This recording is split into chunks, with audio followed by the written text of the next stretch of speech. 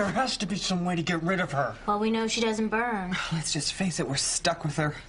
You can't give up. You can totally do this. I'm sorry, I just don't know what to do. She's too powerful. Every monster has its weakness. Frankenstein has fire, Dracula the cross. There has to be something that Grandma's afraid of. So, what would you like me to do for you? Well, it's, uh. it has to do with my mother. She refuses to leave. and I had this idea. You see, she's a horrible bigot. I mean, she's terrified of black people. Oh. What do you want me to... well, I, I suppose I... Really? I do it, but I'm not dark enough.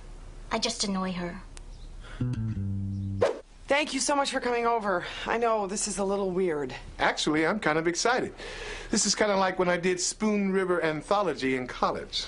Do we have to hear that story again? Four pillows on one bed. This is why you can't feed your children.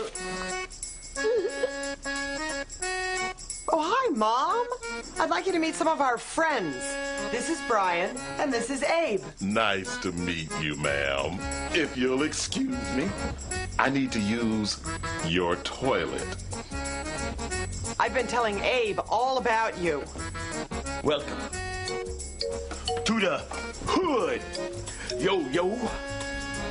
Getting all jiggly with it. Representing. Can't touch this. Abe. Huh? Chill. Hello? Everybody decent?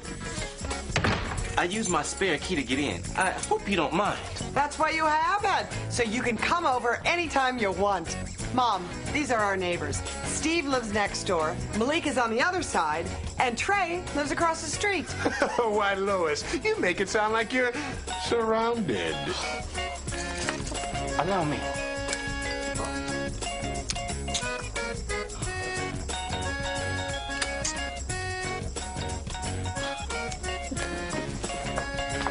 Well, hello.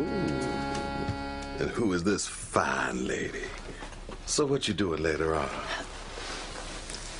Cause I like that wagon you dragging.